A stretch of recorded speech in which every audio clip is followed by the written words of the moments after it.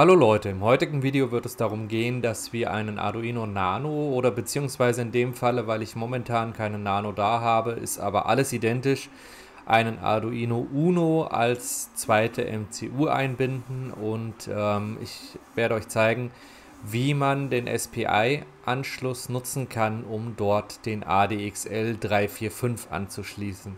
Das Ganze ist äh, überhaupt nicht schwierig eigentlich, wenn man weiß, wie es geht. Äh, ich musste allerdings auch ein bisschen tüfteln, weil es gab nicht wirklich viele Anlaufstellen, wo ich jetzt was gefunden habe, wie man das Ganze bei Clipper oder über Mainsail macht.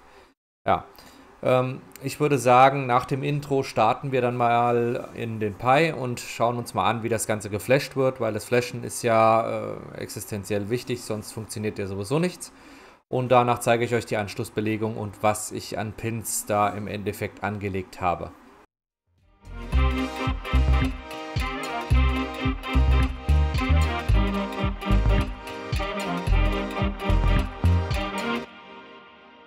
So, auf dem Pi angekommen, würde ich sagen, starten wir direkt straight in Kia U, weil ähm, ich mache das meiste eigentlich über Kia U, weil es für euch am einfachsten ist, das Ganze nachzuvollziehen, was passiert.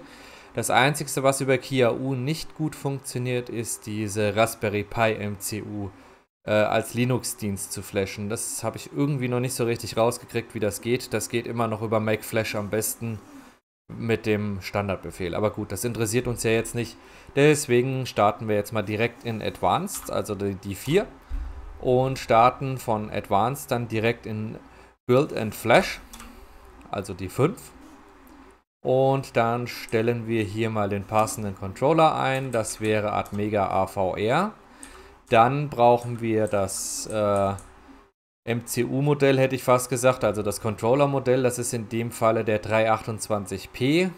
Auf dem Uno ist der 328p ja in Stecksockelform und auf dem Nano ist er halt in aufgelöteter viereckiger äh, Form. Und ähm, ja, chiptechnisch ist das kein Unterschied. Das ist halt nur die Bauform, die das Ganze halt so ein bisschen unterscheidet. Macht aber im Endeffekt nichts aus. Für uns ist das dasselbe, sogar die Pin-Belegung ist dieselbe. Jetzt könnte man hier zum Beispiel noch, wenn man die extra Low-Level-Optionen nimmt, gewisse Pins zum Startup in irgendwelche Positionen bringen. Das habe ich jetzt bei mir persönlich noch nicht gemacht. Aber ähm, die Möglichkeit besteht halt und 16 MHz ist sowieso Standard eingestellt. Das passt dann also auch. So, das heißt, im Endeffekt stellen wir hier nur Atmega AVR ein und das Prozessormodell und dann sind wir eigentlich auch schon fertig. Hier gehen wir dann raus mit Quit und ähm, dadurch, dass ich jetzt reingezoomt habe, sieht man leider das Safe Configuration nicht. Das ist jetzt hier unten. Da gehen wir jetzt einfach mit Yes raus und dann tut er die Firmware schon fertig machen. Da müssen wir jetzt ganz kurz abwarten, bis er damit durch ist. Das dauert normalerweise nicht so lange. Es ist jetzt ein Pi 3, deswegen dauert es ein klein bisschen länger wie bei dem 4er. Aber das ist trotzdem ja kein Problem. So, jetzt gleich müsste er uns eigentlich fragen, ähm, worüber wir flashen wollen. Also reguläre Flash-Methode oder Update via SD-Card. SD-Card fällt ja bei dem Arduino Nano und bei dem Uno definitiv flach.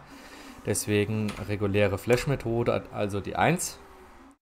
Und dann fragt er uns über USB oder UART. In dem Falle sind wir über USB verbunden.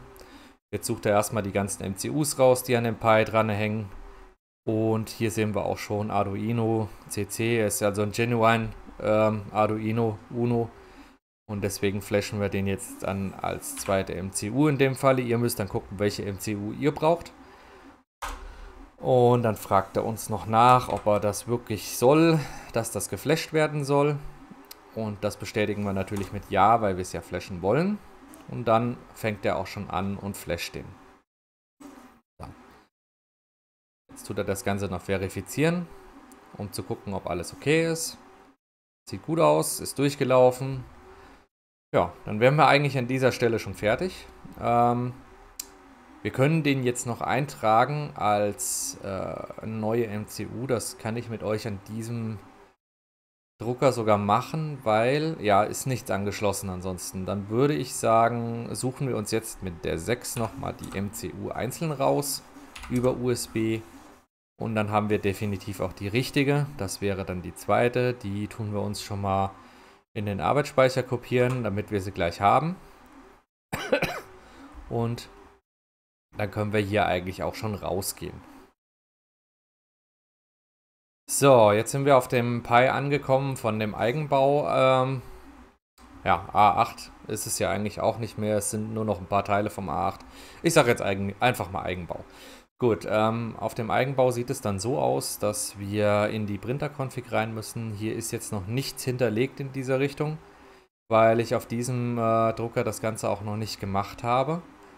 Das bedeutet, wir legen die ganzen Sachen dann an und äh, das machen wir jetzt erst einmal so, dass ich äh, aus der anderen Config mir die Sachen raushole. Das erläutere ich auch jetzt gleich nochmal ein bisschen, was da im Endeffekt äh, noch gemacht werden muss weil so schwer ist das nicht und viel ist es auch nicht. Das ist halt wirklich nur äh, ja, eine ganz kleine Geschichte, damit das Ganze funktioniert. Jetzt habe ich aus der anderen Config, das kopiere ich euch auch in das GitHub Repository im Endeffekt noch mit rein, habe ich das jetzt rausgeholt. Und hier kopieren wir jetzt dann die zweite MCU noch rein, also die Arduino CC. So, dann haben wir das hier. Das kopieren wir anstatt dessen hier rein.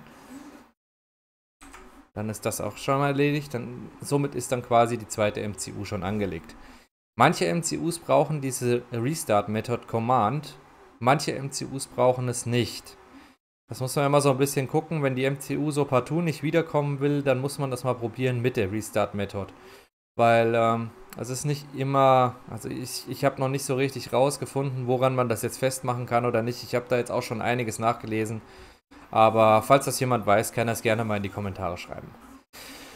So, das Ganze sieht jetzt so aus, dass wir eine zweite MCU angelegt haben. Die heißt bei mir I.O. Aus dem ganz einfachen Grunde, weil ich darüber auch den Drucker ein- und ausschalte, zumindest den anderen Drucker, ähm, den ehemaligen Tronxy weil äh, ich ja an die Pi-Pins nicht mehr rankomme, weil ich ja die Kiste zugemacht habe. Und ich möchte nicht jedes Mal, wenn ich da was an- und abklemme, die Kiste aufmachen müssen. Da habe ich nicht so richtig Lust drauf gehabt. Deswegen habe ich das jetzt auch hier rüberlaufen lassen. Das kann ich euch gleich auch nochmal zeigen. Äh, der wichtige Part ist jetzt im Endeffekt der, dass ja der ADXL 345 normalerweise einen Cable Select Pin hat. Ähm, boah, ich glaube, der heißt RPi, also für die Raspberry Pi ähm, MCU und dann steht dahinter Non. In dem Falle hier sieht es so aus, dass wir dann halt auf die MCU IO zugreifen müssen und den Cable Select Pin, der auf der MCU vergeben ist, nämlich PB2 verwenden müssen. Über diesen Befehl weiß allerdings auch ähm, Clipper schon direkt, dass äh, der eine einzige SPI-Anschluss an dem Arduino Nano Uno oder alles, was in dieser Form halt ist und geflasht werden kann, aktiviert werden soll für den Resonanztester. Jetzt könnte man da direkt auch den äh, Sensor anschließen mit der Pin-Belegung. Die äh, zeige ich euch gleich auch noch. Beziehungsweise die können wir auch jetzt besprechen. Äh, ist zwar so ein bisschen vorgegriffen, aber egal. So, die Pin-Belegung sieht dann nämlich wie folgt aus. Äh, wir gehen von dem Arduino Nano oder Uno, ist beides dasselbe gehen wir auf den ADXL 345. Das heißt, wir brauchen den Pin PB2, das ist SS, also Cable Select in dem Falle. Der heißt hier SS. Gehen wir an Cable Select natürlich am Sensor. Dann gehen wir direkt mit dem Pin 11. Also ich rede jetzt von den Arduino Pins, wie sie auf dem, auf dem Controller auch draufstehen. Von Pin 11 gehen wir an SCA. Und von Pin 12 gehen wir an SD0 und Pin 13 kommt an SCL. Wichtig für euch an der Stelle ist auch noch, dieser Sensor, wie er hier gezeigt ist, wie ich ihn auch selber verwende und wo das Foto auch herstammt, der ist für 3,3 und 5 Volt geeignet. Ähm, der Originale von Adafruit hat, glaube ich, 3,3 Volt hier noch extra ausgewiesen und einen V-In, wo man auch 5 Volt anschließen kann. Das müsst ihr aber definitiv prüfen. Deswegen habe ich es auch unter das Bild nochmal drunter geschrieben. Weil wenn ihr auf einen reinen 3,3 Volt Sensor 5 Volt drauf gebt, dann ist der Sensor definitiv ziemlich instant tot. Also da wird sich nicht lange irgendwas regen. Und je nachdem, wenn ihr Pech habt, grillt ihr euch damit dann auch den Controller weg. weil er eventuell zum Beispiel beim Raspberry Pi auch nur 3,3 Volt verträgt. Der Atmega ist jetzt nicht so das Problem. Ich glaube, der kann 5 Volt an den Pins ab. Das sollte jetzt nicht unbedingt irgendwas zerstören. Ja, dann wäre damit diese Pin-Belegung auch schon fertig. Was ich jetzt noch mache, ich habe halt noch einen Pin angelegt, den zeige ich euch auch gleich. Ähm, ich nehme mir, glaube ich, über den Pin D3 oder D4, ich weiß es nicht ganz genau, nehme ich mir jetzt noch einen, einen Schaltpin raus und schalte damit halt den Drucker oder beziehungsweise diesen Leistungsschutz, den ich vor ganz langer Zeit mal für Octoprint gebaut habe, äh, tue ich darüber halt an- und ausschalten, damit ich das nicht über den Pi machen muss. Das ist jetzt noch mein, mein persönliches Extra, was ich jetzt noch hier rüber mache.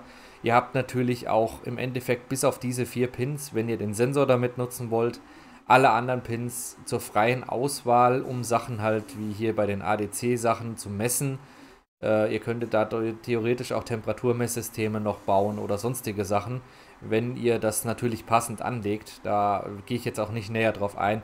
Oder halt andere Sachen auch drüber schalten, LED-Leisten oder sonst irgendwas. Das ist auch kein Problem mit dem, mit dem Arduino Nano. Oder theoretisch sogar einen Motor ansteuern, weil UART ist ja hier drauf auch vorhanden äh, muss ich gerade gucken, hier oben TX und RX. Also darüber könntet ihr theoretisch dann sogar einen TMC-Treiber mit UART programmieren. Ohne Probleme. Ja, das dann schon mal so zu dem Controller. Ähm, dann gehen wir jetzt mal wieder zurück auf den Controller hier. Wenn wir jetzt hier auf äh, Speichern drücken und Neustart, dann wird es wahrscheinlich so kommen, wenn wir nichts falsch gemacht haben, dass jetzt hier gleich drei MCUs aufploppen.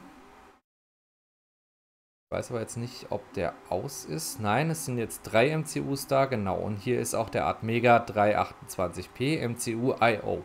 Das heißt also, der ist jetzt da, könnte auch voll verwendet werden, ohne dass man jetzt sich irgendwelche Gedanken machen muss, dass es hier Probleme gibt. Wichtig ist, ihr müsst ein gutes USB-Kabel nehmen, bei einem billigen USB-Kabel ist es mir ein paar Mal passiert, dass die MCU einfach abgeschmiert ist und der Drucker dann somit in Not ausgegangen ist. Das konnten wir auch reproduzieren äh, bei Martin, seinem Drucker. Der hatte nämlich auch ein langes USB-Kabel dran. Das muss scheinbar auch nicht so toll gewesen sein. Da ist der Drucker auch direkt in Shutdown gegangen. Und das ist natürlich sehr ärgerlich, wenn das im Druck passiert. Das ist natürlich was, was man eigentlich vermeiden möchte, sag ich mal. Ja, und an der Stelle können wir jetzt dann auch direkt übergehen zu dem anderen Pin, den ich hier bei dem ehemaligen Tronxy drin stehen habe. Jetzt muss ich gerade aber mal gucken. Ich habe jetzt hier als Output-Pin den On-Off-Pin und darüber hole ich mir halt jetzt im Endeffekt dann das äh, große Schaltrelais, den Schaltschütz, um den halt einzuschalten, bevor der Drucker startet. Das Ganze funktioniert dann auch, weil es als Makro angelegt ist, ganz normal mit dem Printer Power Makro, was in Moonraker und hier in Clipper hinterlegt wird. Für Printer Power Off auch. Also das heißt, der Drucker geht dann auch automatisch nach den 10 Minuten aus. Und ähm, das funktioniert alles tadellos. Falls dort Fragen sind, äh, ich musste den Startcode in Cura noch ein bisschen anpassen und sowas. Bitte das in die Kommentare schreiben, weil das möchte ich jetzt hier nicht zeigen, weil es ist ja ein Video, was um den Nano geht und nicht um Cura Startcodes. Äh, das werde ich dann halt auch noch erläutern dazu. Und falls viele Leute danach fragen sollten, wie das jetzt über dieses An- und Ausschalten des Druckers mit dem Nano geht, werde ich den Startcode auch äh, als Cura Video nochmal veröffentlichen. Aber das mache ich halt jetzt nicht, wenn einer nachfragt, dem antworte ich dann privat. Ja, dann würde ich sagen, war es das eigentlich auch schon, weil das ging jetzt recht flott. Wie gesagt, hier Flächen MCU raussuchen und dann das Ganze halt einfügen, in die Config reinmachen, den äh, Serial Port raussuchen, wo er am USB dran hängt und nicht vergessen, diesen ADXL umzuschreiben auf den anderen Pin äh, den Resonanztester, das ist ja sowieso eine Standardgeschichte, die kommt ja mit dem Resonanztester-Repository. Äh, hier natürlich die Maße eintragen und dann seid ihr auch im Endeffekt, wenn ihr diese zweite MCU nehmt, genauso fertig, wie wenn ihr den Raspberry Pi nehmen würdet, weil äh, das Interesse war ja auch da, dass Leute über Netbooks oder Mini-PCs oder sonst irgendwas das machen wollen. Und für die ist die einzigste Möglichkeit, den Resonanztester und Schaltpins zu bekommen, eben diese Arduino Uno oder Arduino Nano. Und daher finde ich das halt ziemlich interessant, das euch zu zeigen, weil ich denke, da wird schon der ein oder andere gut was mit anfangen können. Ja, dann würde ich sagen, war es das für dieses Video. Ähm, bis zum nächsten Video. Habt eine schöne Woche und ähm, abonnieren und Glocke aktivieren nicht vergessen, damit ihr nichts verpasst. Und